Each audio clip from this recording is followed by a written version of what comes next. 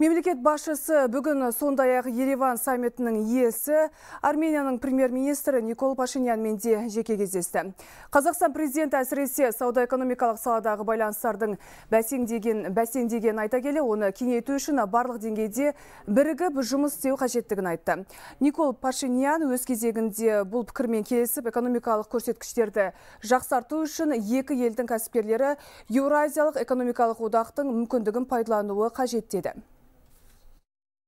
Двусторонние отношения между нашими странами имеют очень большое значение.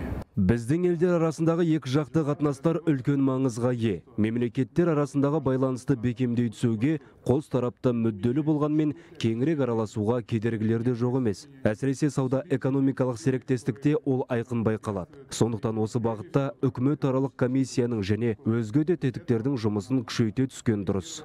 Наши э, дружественные отношения Сізді президенттік мәртебеңізбен құттықтауға бүгінгідей ресми мүмкіндік болған жоқ. Сондықтан Қазақстан Республикасының президенті болуыңызбен құттықтай отырып, серіктестікке сенім білдіргім келеді. Сауда экономикалық байланыстардың әлеуеті зор, соны пайдалану керек. Ол жағынан сізбен келісемін. Біздің кәсіпкерлер Еуразиялық экономикалық одақ арасында ашылып жатқан жаңа мүмкіндіктерді пайдаланады деп ойлаймын.